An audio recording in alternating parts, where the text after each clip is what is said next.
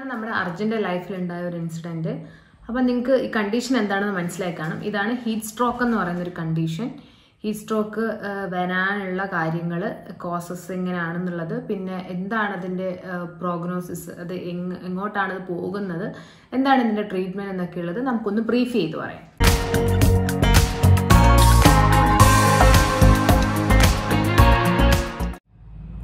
Dear പെറ്റ്സിന്റെ മറ്റൊരു വീഡിയോയിലേക്ക് എല്ലാവർക്കും സ്വാഗതം. ഇന്ന് നമ്മൾ അർജുന്റെ അതായത് അർജുൻ എന്ന് പറയുന്നത് വൺ ഇയർ ആയിട്ടുള്ള ഒരു അമേരിക്കൻ പുള്ളിയുടെ ലൈഫിലുണ്ടായ ഒരു ചെറിയ ഇൻസിഡന്റ് ആണ് ഞാൻ നിങ്ങളുമായിട്ട് ഷെയർ ചെയ്യാൻ പോകുന്നത്. അർജുൻ ഞാനുമായിട്ട് ആകെ മൂന്ന് തവണയാണ് മീറ്റ് ചെയ്തിട്ടുള്ളത്. അർജുന് ഫസ്റ്റ് ടൈം നമ്മുടെ അവിടെ പ്രസന്റ് ചെയ്യുമ്പോൾ അർജുന ഒരു ചെറിയ സ്കിൻ ഇൻഫെക്ഷൻ ഒക്കെ ഉണ്ടായിരുന്നു. അപ്പം നമ്മളത് ട്രീറ്റ് ചെയ്ത് ഒരു ടു വീക്സ് കംപ്ലീറ്റ് മെഡിക്കേഷനിൽ അത് മൊത്തം ക്ലിയർ ഒക്കെ ആയി. പിന്നെ അത് കഴിഞ്ഞിട്ട് അർജുനെ ഞാൻ മീറ്റ് ചെയ്യുന്നത് അർജുന്റെ ആനുവൽ വാക്സിനേഷൻ അതായത് വർഷാവർഷം എടുക്കുന്ന രോഗപ്രതിരോധ കുത്തിവയ്പ്പിന് വേണ്ടിയിട്ട് നമ്മുടെ അവിടെ കൊണ്ടുവന്നപ്പോഴാണ് രണ്ടാമത് അർജുനെ ഞാൻ മീറ്റ് ചെയ്യുന്നത്. അന്നേരം അർജുൻ വളരെ ഫ്രണ്ട്ലി ആയിട്ടുള്ള സോഷ്യലൈസ്ഡ് ആയിട്ടുള്ള ഒരു ഡോഗാണ് അത്യാവശ്യം നല്ല ഒബീഡിയന്റ് ആയിട്ടുള്ള ഒരു ഡോഗാണ് പക്ഷേ ഇയാളുടെ അതായത് ഇഞ്ചെക്ഷൻ ചെയ്യുന്നതൊന്നും ഞങ്ങൾക്ക് ഇഷ്ടമല്ല. അന്നേരം ഭയങ്കരമായിട്ട് ഉള്ള ഒരു വെപ്രാളമൊക്കെ കാണിക്കും. വലിയ കുഴപ്പമില്ലാണ്ട് അയാൾ നമ്മളോട് സഹകരിച്ചു. നമ്മൾ അതിന് ഇഞ്ചെക്ഷൻസ് ഒക്കെ ചെയ്തു. ഒരു ഫിഫ്റ്റീൻ മിനിറ്റ്സ് ഇവിടെ നിന്നിട്ടാണ് അർജുൻ പോയത്. പോയി കഴിഞ്ഞ് ഇവർ ഒരു ഹാഫ് ആൻ അവർ കഴിഞ്ഞിട്ട് എന്നെ വിളിക്കുന്നു. ഡോക്ടർ അത് ഭയങ്കരമായിട്ട് സലൈവേഷൻ ഉണ്ടാക്കുന്നു. പിന്നെ അതുപോലെ വൊമിറ്റ് ചെയ്യുന്നു. പിന്നെ അതുപോലെ തന്നെ എന്തോ ലൂസ് മോഷൻ പോലൊക്കെ പോകുന്ന പോലെ തോന്നുന്നു. ഭയങ്കരമായിട്ട് കിതയ്ക്കുന്നു. ലാറ്ററലി കിടക്കുവാണെന്നൊക്കെ പറഞ്ഞു. ഞാൻ പറഞ്ഞു പെട്ടെന്ന് തന്നെ നിങ്ങൾ എമർജൻസി ആയിട്ട് തന്നെ അയാൾ തിരിച്ചു കൊണ്ടുവരാൻ പറഞ്ഞു. അപ്പോൾ അവർ പറഞ്ഞു കൊണ്ടുവരാൻ പറ്റുന്ന സാഹചര്യമല്ല. കാരണം ഞങ്ങളിങ്ങ് ഒത്തിരി ദൂരെ എത്തി. ഇത് കൊണ്ടുവന്നാൽ അയാൾ കൊണ്ടുവരുന്നിടം വരെ അയാൾ സർവേ ചെയ്യുമെന്ന് ഞങ്ങൾക്ക് സംശയമുണ്ട് എന്നൊക്കെ പറഞ്ഞു. ഞാൻ പറഞ്ഞു എന്നാൽ നമുക്ക് നിങ്ങളെ നിയറസ്റ്റ് ആയിട്ടുള്ള ഏതെങ്കിലും ഒരു മൃഗാശുപത്രിയിലേക്ക് കൊണ്ടുപോകുമെന്ന് അവരോട് പറഞ്ഞു. അപ്പം ഞാൻ അവിടുത്തെ ഡോക്ടറിനെ വിളിച്ചപ്പം പുള്ളി എന്തോ അവൈലബിൾ അല്ലായിരുന്നു. അപ്പം നമ്മൾ അവർ അവരോട് പറഞ്ഞു പെട്ടെന്ന് തന്നെ ഇമ്മീഡിയറ്റ് ആയിട്ട് കൊണ്ടുവന്നോളാൻ പറഞ്ഞു. തിരിച്ചവർ വേഗം തന്നെ നമ്മുടെ ക്ലിനിക്കിലേക്ക് കൊണ്ടുവന്നു. ഒരു പത്ത് മിനിറ്റിനുള്ളിൽ അയാൾ എത്തുകയും ചെയ്തു. കൊണ്ടുവന്നപ്പം അയാളെ ഇവിടെ നടന്നു പോയ അർജുൻ ശരിക്കും കിടന്നാണ് വന്നത്. അത്രയ്ക്ക് ലാറ്ററൽ റിക്കമെൻസ് ഇല്ലായിരുന്നു. ഒരു വശം ചരിഞ്ഞായിരുന്നു അർജുൻ കിടന്നിരുന്നത്. ഭയങ്കരമായിട്ട് ഓപ്പൺ മൗത്ത് ബ്രീത്തിങ് വാ തുറന്ന് ശ്വാസം എടുക്കുമായിരുന്നു വായിക്കൂടി ഇങ്ങനെ സലൈവേഷം വന്നുകൊണ്ടിരിക്കും കണ്ണ് പോലും തുറക്കത്തില്ല കണ്ണ് അടച്ച് വളരെ റെസ്പെയർ ചെയ്യുമ്പോൾ വളരെ സൗണ്ടോടു കൂടിയാണ് അയാൾ ശ്വാസം എടുത്തുകൊണ്ടിരുന്നത്. നമ്മൾ കൊണ്ടുവന്നപ്പോൾ തന്നെ നമ്മൾ വേഗം തന്നെ ഫ്ലൂയിഡ് കണക്ട് ചെയ്തു. ട്രിപ്പ് ഇട്ടു. ട്രിപ്പ് ഇട്ട് ഞാൻ അതിന്റെ ടെമ്പറേച്ചർ നോക്കിയപ്പോൾ അയാളുടെ ടെമ്പറേച്ചർ എന്ന് പറഞ്ഞാൽ നൂറ്റി ആറ് പോയിന്റ് ആറായിരുന്നു ഒരു നോർമലി ഒരു ഡോഗിന്റെ ടെമ്പറേച്ചർ മാക്സിമം പനിയൊന്നും ഇല്ലാത്തൊരു കണ്ടീഷനിൽ നമുക്ക് നൂറ്റി രണ്ട് വരെയൊക്കെയാണ് പോകേണ്ടത്. ഇപ്പോൾ അയാൾ ടെമ്പറേച്ചർ വളരെ ഹൈ ആയിരുന്നു. നമ്മൾ എന്തായാലും ട്രിപ്പ് കണക്ട് ചെയ്തു. ട്രിപ്പ് കണക്ട് ചെയ്തിട്ടും അർജുൻ ഒരു ടു ഹൺഡ്രഡ് എം എൽ ഒക്കെ ആയിട്ടും അർജുൻ വലുതായിട്ടൊന്നും റിയാക്ട് ഒന്നും ചെയ്യുന്നില്ല റെസ്പോണ്ട് ചെയ്യുന്നില്ല. നമ്മൾ ഇടയ്ക്കിടയ്ക്ക് അർജുന്റെ പേര് വിളിക്കുന്നുണ്ട്. ട്രിപ്പ് കണക്ട് ചെയ്യുന്നതിന്റെ കൂട്ടത്തിൽ തന്നെ നമ്മൾ കൂൾ വാട്ടർ എനിമ കൊടുക്കുന്നുണ്ട്. അതുപോലെ തന്നെ ഈ ഐസ് പാക്ക് വെച്ചിട്ട് പുള്ളിയുടെ ദേഹമൊക്കെ നമ്മൾ നന്നായിട്ട് റബ്ബ് ചെയ്ത് കൊടുക്കുന്നുണ്ട്. കാലിന്റെ ഇടയിലൊക്കെ റബ്ബ് ചെയ്ത് കൊടുക്കുന്നുണ്ട്. ദേഹത്ത് ചെറിയ ചെറിയ റാഷസ് റെഡ് റാഷസും വന്നു തുടങ്ങിയായിരുന്നു. പ്രത്യേകിച്ച് നെറ്റിയിലും അതുപോലെ കാലിന്റെ ഭാഗത്തും ഒക്കെ റെഡ് റാഷസും വന്നു തുടങ്ങിയായിരുന്നു. അപ്പം ഞാൻ അവരോട് ചോദിച്ചു നിങ്ങൾ ഇവിടുന്ന് പോയ ശേഷം എവിടെയെങ്കിലും നിർത്തി വല്ലതും ഇട്ടിരുന്നോ വണ്ടി എന്ന് ചോദിച്ചു.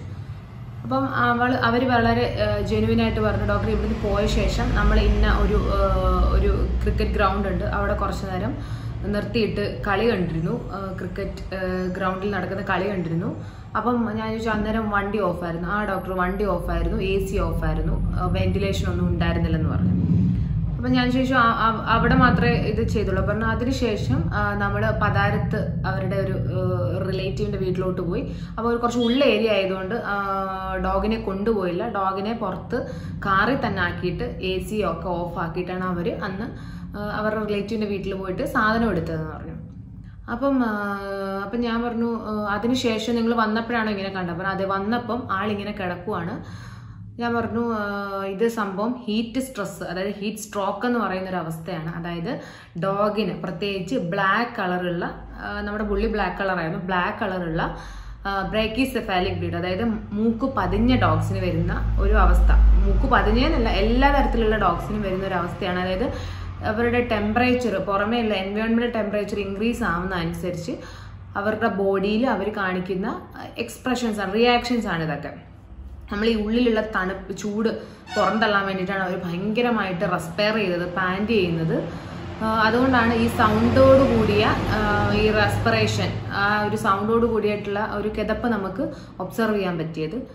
അപ്പം അവർക്ക് ഈ കണ്ടീഷനെ പറ്റി അറിവില്ല. അവർ യൂഷ്വലി ഇതിനെ കൊണ്ട് പോകുന്നതൊക്കെയാണ്. ഡോഗിനെ കൊണ്ട് പല സ്ഥലങ്ങളിലും കാറിൽ കൊണ്ടുപോകുന്നതാണ്. നമ്മൾ ഡോഗിനെ അവർ ഹോസ്പിറ്റലിലോട്ട് കൊണ്ടുവന്നത് ഇന്നോവയുടെ ബാക്ക് സീറ്റിൽ ഇട്ടിട്ടായിരുന്നു. അതുപോലാണ് അവർ എല്ലായിടത്തും കൊണ്ടുപോകുന്നതാണ് ഇയാളെ ഇങ്ങനെ. പക്ഷെ ഇതുവരെ ഇങ്ങനെ ഒരു കണ്ടീഷൻ നോട്ടീസ് ചെയ്തിട്ടില്ല. അപ്പം ഈ കണ്ടീഷനെ പറ്റി പറയുകയാണെങ്കിൽ ഇത് നമുക്ക് ഇയാൾക്ക് ഒരു എമർജൻസി ട്രീറ്റ്മെന്റ് കൊടുത്തതുകൊണ്ടാണ് ഇന്ന് ഇയാൾ ലൈഫിലോട്ട് തിരിച്ചു വന്നത്. ഇപ്പൊ ഇൻ കേസ് അവർ അവരുടെ റിലേറ്റീവിന്റെ വീട്ടിൽ നിന്ന് തിരിച്ചു വരാൻ ഒരു ഫൈവ് മിനിറ്റ്സ് വൈകിയിരുന്നെങ്കിൽ ചിലപ്പോൾ ഇയാളുടെ ലൈഫ് ലോസ് ആയിപ്പോയി ലൈഫ് ഇയാളുടെ ഡെത്തിന് കാരണമായനെ അത്. അതുപോലെ തന്നെ നമ്മളുടെ അടുത്തേക്ക് കൊണ്ടുവരാനുള്ള ടൈം അതും വളരെ ഇമ്പോർട്ടന്റ് ആണ്. അതിലും എന്തെങ്കിലും ഒരു ഡിലേ ഉണ്ടായിരുന്നെങ്കിൽ തന്നെ ഇയാളുടെ ലൈഫ് നമുക്ക് തിരിച്ച് കിട്ടത്തില്ലായിരുന്നു. അപ്പം ഇത് വളരെ ഒരു എമർജൻസി കണ്ടീഷൻ നേരത്തെ പറയുന്നത് ഒരു വളരെ എമർജൻസി കണ്ടീഷനാണ് ഇൻ കേസ് ഇങ്ങനത്തുള്ള ഡോഗിനെ നമ്മൾ വളർത്തുമ്പം എല്ലാ ഡോഗിനും ഇത് വരുന്നതാണ്. പ്രത്യേകിച്ച് ബ്രേക്കിസെഫാലിക് ബ്ലാക്ക് ഡോഗിനൊക്കെ വളരെ കോമൺ ആണ്. അപ്പം ഡോഗ്സിനെ നമ്മൾ വളർത്തുമ്പോൾ ശ്രദ്ധിക്കേണ്ട കുറച്ച് കാര്യങ്ങളുണ്ട്. അപ്പം അതിലോട്ടാണ് നമ്മളിനി അടുത്തതായിട്ട് പോകുന്നത്. അതായത് ഇവർക്ക് എപ്പോഴും വെള്ളം വെച്ച് കൊടുക്കുക. ഒരു ട്വന്റി ഫോർ അവേഴ്സ് ഇവർ കേജ് എന്നുള്ള ഒരു സിസ്റ്റം നമ്മൾ ഒഴിവാക്കണം. ഇരുപത്തിനാല് മണിക്കൂർ ഒരിക്കലും ഇവരെ കൂട്ടിയിടാൻ പാടില്ല. അവർക്ക് രാവിലെ കുറച്ച് വെള്ളം വെച്ച് കൊടുത്തിട്ട് പിന്നെ ഫുൾ ടൈം കേജ് എന്നുള്ളത് ഒഴിവാക്കുക. ഒരു ഇടയ്ക്ക് ഒരു ഇടനേരത്ത് അവരെ ഒരു തണലത്തൊക്കെ കൊണ്ടുപോയി ഒരു ആക്ടിവിറ്റീസ് ഒക്കെ ചെയ്യിക്കുമ്പം അതുപോലെ തന്നെ നമ്മൾ നന്നായിട്ട് വെള്ളം പ്രൊവൈഡ് ചെയ്ത് കൊടുക്കുക. ഇങ്ങനത്തുള്ള പാന്റിങ് അബ്നോർമൽ ആയിട്ടുള്ള കിതപ്പ് പാന്റിങ് ദേഹം തൊട്ട് നോക്കുമ്പോൾ ചൂട് അങ്ങനത്തുള്ള കണ്ടീഷനൊക്കെ നിങ്ങൾക്ക് തോന്നുകയാണെങ്കിൽ ഇവർക്ക് ഐസ് ലിക്ക് ചെയ്യാൻ കൊടുക്കാം. അതുപോലെ തന്നെ പ്ലെന്റി ഓഫ് വാട്ടർ നമുക്ക് കൊടുക്കാം. ദേഹം തണുപ്പിക്കാൻ വേണ്ടിയിട്ട് ഇടയ്ക്കിടയ്ക്ക് കുറച്ച് വെള്ളം ഒഴിച്ചു കൊടുക്കാം. അങ്ങനെയൊക്കെ ഉള്ള കാര്യങ്ങളൊക്കെ നമുക്ക് ചെയ്യാൻ പറ്റും. അല്ല ഇതിലൊന്നും നമുക്ക് മാനേജ്മെന്റ് ചെയ്യാനില്ല ഒരു എമർജൻസി കണ്ടീഷനിലേക്ക് പോവുകയാണെങ്കിൽ നമ്മൾ നേരെ തന്നെ പെട്ടെന്ന് തന്നെ ഒരു വെറ്റിനറി ഡോക്ടറുടെ ഹെൽപ്പ് നമ്മൾ സീക്ക് ചെയ്യേണ്ടതാണ്. ഇനി നമുക്ക് അർജുന്റെ കഥ ഇതുവരെ തീർന്നിട്ടില്ല. അർജുന്റെ ബാക്കി കഥ പറയാം. ഒരു three hundred M L fluid പിന്നെ അതുപോലെ ടെമ്പറേച്ചർ റെഡ്യൂസ് ചെയ്യാനുള്ള മെഡിസിൻസ് ഒക്കെ കൊടുത്തപ്പോഴത്തേനും അർജുൻ ഒന്ന് അത്യാവശ്യം ഒന്ന് തല പൊക്കി കണ്ണൊക്കെ തുറന്നു എന്നുള്ള അവസ്ഥയിലേക്ക് എത്തി. പക്ഷെ അന്നേരം അർജുൻ റെസ്പോണ്ട് ചെയ്യുന്നില്ലായിരുന്നു. പിന്നെ കുറച്ചധികം ഫ്ലൂയിഡും നമ്മൾ ഈ കൂൾ വാട്ടർ എനിമയൊക്കെ ചെയ്ത ശേഷം അർജുൻ എന്നുള്ള പേര് നമ്മൾ വിളിച്ചപ്പോൾ തന്നെ അർജുൻ വാലാട്ടം തുടങ്ങി. അത് ഇയാൾ റെസ്പോണ്ട് ചെയ്യുന്നുള്ള ഒരു സൈനാണ് അപ്പം പിന്നെ കുറച്ച് കഴിഞ്ഞു അർജുൻ എണീറ്റു. അവിടുന്ന് അത്യാവശ്യം ആക്റ്റീവായി നടക്കാനൊക്കെ തുടങ്ങി. പിന്നെ അർജുൻ തിരിച്ചുപോയി. ഒരു ഒരു ക്രിട്ടിക്കൽ കണ്ടീഷൻ അവിടെ കഴിഞ്ഞു. പിന്നെ അത് കഴിഞ്ഞിട്ട് അർജുൻ വീട്ടിലെത്തി. വീട്ടിലെത്തിയിട്ടും അർജുൻ ഒട്ടും ആക്റ്റീവ് അല്ലായിരുന്നു. അർജുൻ ഇങ്ങനെ ഒരു സ്ഥലത്ത് തന്നെ കിടക്കുമായിരുന്നു കിടന്ന് ഇവർ നോക്കിയപ്പം അർജുൻ വെള്ളം കുടിക്കാനൊന്നും ശ്രമിക്കുന്നില്ല. വായിൽ ഒഴിച്ചു കൊടുക്കുക മാത്രമേ ഇത് കുടിക്കുന്നുണ്ടായിരുന്നുള്ളൂ. ബോഡിയിലുള്ള റാഷസ് കൂടുകയും ചെയ്തു. അപ്പം ഇവൻ ദോ എമർജൻസി സിറ്റുവേഷൻ ഓവർകം ചെയ്തെങ്കിലും ഒരു ഫർദർ ചെക്കപ്പ് എന്നുള്ള രീതിയിൽ ഒരു എന്തെങ്കിലും ഇയാളുടെ ഇന്റേണൽ ബോഡി പാർട്സിന് എന്തെങ്കിലും എഫക്റ്റ് ചെയ്തോ എന്നൊക്കെയുള്ള ഒരു രീതിയിൽ നമ്മൾ മെഡിക്കൽ കോളേജിലോട്ട് കൊണ്ടുപോയി അർജുനെ. അപ്പം അവിടെ വെച്ചിട്ട് ഇയാളുടെ ബ്ലഡ് ടെസ്റ്റ് ചെയ്തു. ബ്ലഡ് ടെസ്റ്റ് ചെയ്തപ്പോൾ ഇയാളുടെ പ്ലേറ്റിൽ കൗണ്ട് നന്നായി കുറഞ്ഞു എന്ന് മനസ്സിലായി ടു ലാക്കിൽ നിന്ന് സെവന്റി ഫൈവ് തൗസൻഡിലേക്ക് ഇയാളുടെ പ്ലേറ്റിൽ കൗണ്ട് എത്തിയിരുന്നു. അപ്പം ഡോക്ടർ മെഡിക്കൽ കോളേജിലെ ഡോക്ടർ ഈ ബ്ലഡ് ക്ലോട്ട് ആവാതിരിക്കാനുള്ള മെഡിസിൻസ് ഒക്കെ നമ്മുടെ അർജുൻ അഡ്മിനിസ്റ്റർ ചെയ്തു.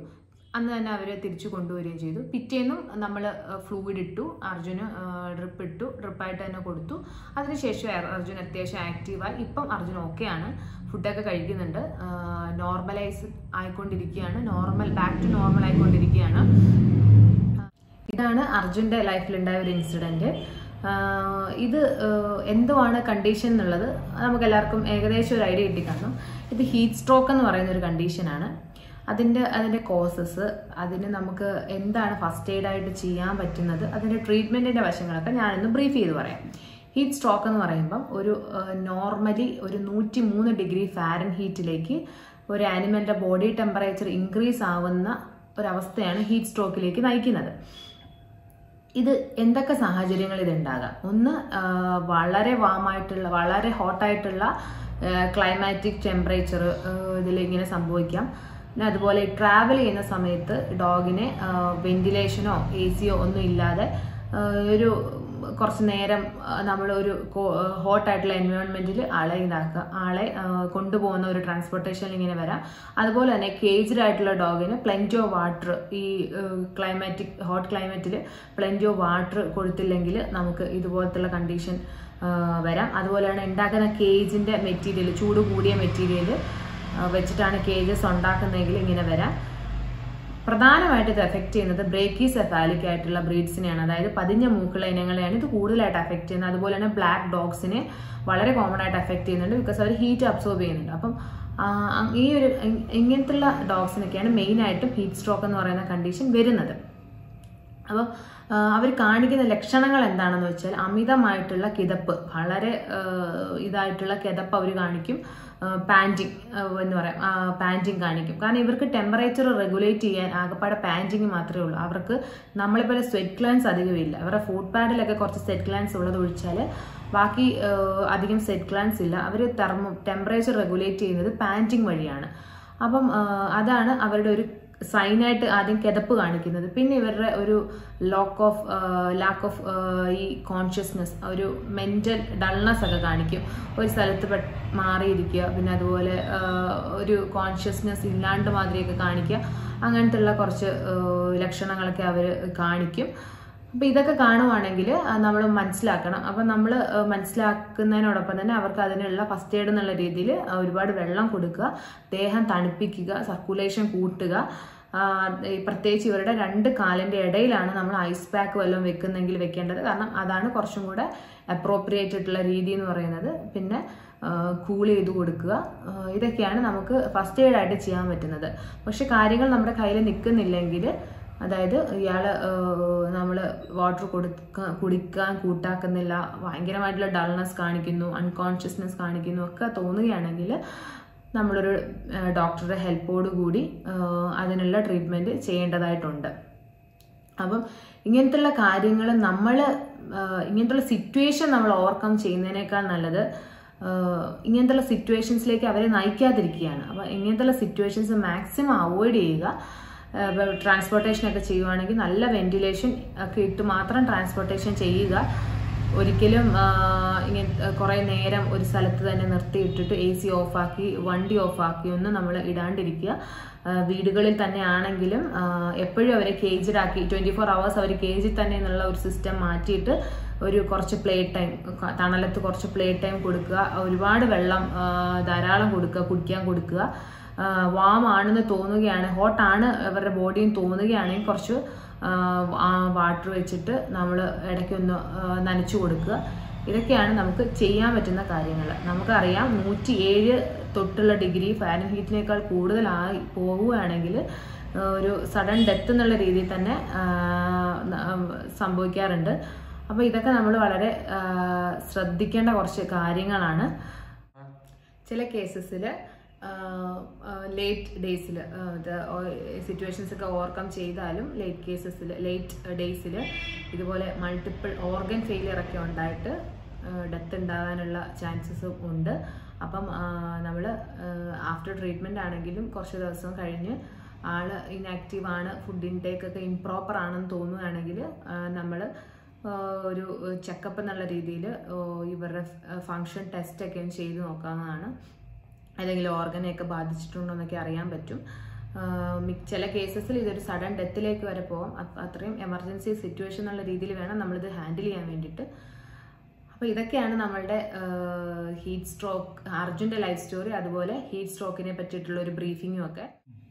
റീസെന്റ്ലി ഇങ്ങനെ ഒരു കേസ് കിട്ടിയതുകൊണ്ടാണ് ഞാനിത് ഷെയർ ചെയ്യുന്നത്. അതുകൊണ്ടാണ് നമുക്ക് ഹീറ്റ് സ്ട്രോക്കിനെ പറ്റിയിട്ടുള്ള ഒരു ഡിസ്കഷൻ എന്നുള്ള രീതിയിൽ ചെയ്തത് വീഡിയോ. അപ്പം നമ്മുടെ വീഡിയോ എല്ലാവർക്കും യൂസ്ഫുൾ ആയെന്ന് ഞാൻ വിചാരിക്കുന്നു. നിങ്ങൾക്ക് യൂസ്ഫുൾ ആണെന്ന് തോന്നുവാണെങ്കിൽ ഷെയർ ചെയ്യുക. പിന്നെ അതുപോലെ കഴിഞ്ഞ വീഡിയോകളിൽ നമുക്ക് തന്ന അതേ സപ്പോർട്ട് തന്നെ നമ്മളെ തുടർന്നുള്ള വീഡിയോകളിലും തരിക. അപ്പം ഇത്രയൊക്കെയാണ് ഇന്നത്തെ വീഡിയോ. അപ്പം താങ്ക് സോ മച്ച്